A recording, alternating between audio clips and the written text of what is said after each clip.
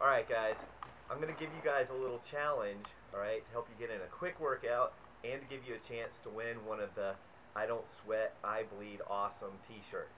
So here's what you got to do, right? Get outside, right? Enjoy this awesome snow and ice. You got two options, okay? You can do 20 air squats or you can do 10 burpees. It's your choice, okay?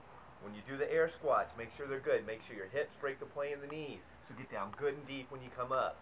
If you do burpees, well, you know the deal, right? It's got to be a real burpee.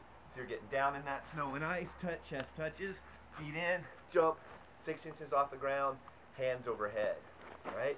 You're going to get a lot more entries if you do the burpees than you are if you do the air squats, oh, okay? You're going to have to post either a photo or a hmm. video on Facebook to prove you did it, and I'll tell you in the explanation below Hello. how many entries you get for each one.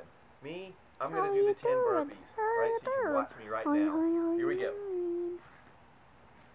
One, two,